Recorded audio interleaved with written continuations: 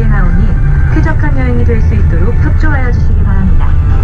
저희 중앙고속은 고객 여러분을 편안히 모시기 위해 최선을 다하겠습니다.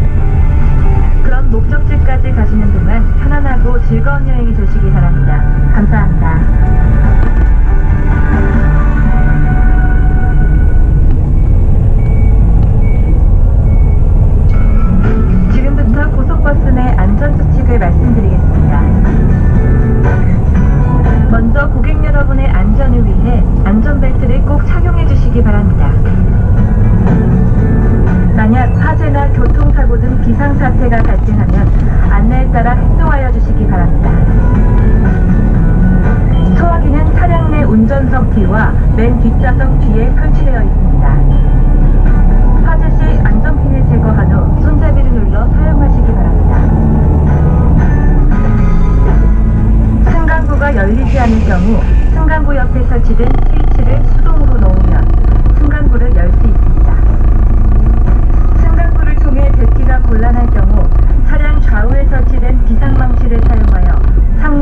후 탈출하고 승무원의 지시에 따라 후속 차량에 주의하여 안전지대로 대피하시기 바랍니다.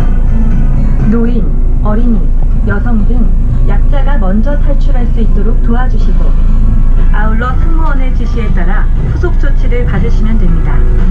저희 고속버스 승무원은 안전운행을 위해 운행 중 휴대전화, 난폭운전, 졸음운전을 하지 않도록 하겠습니다.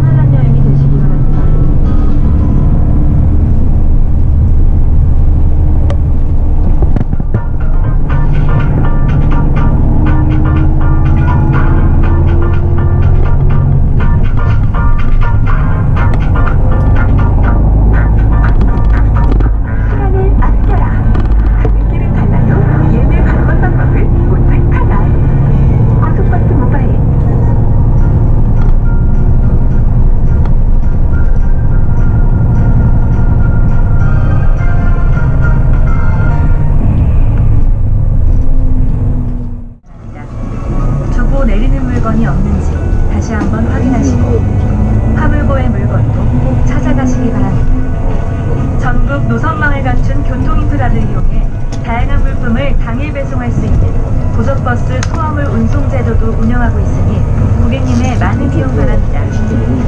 저희 고속버스를 이용해 주셔서 진심으로 감사합니다.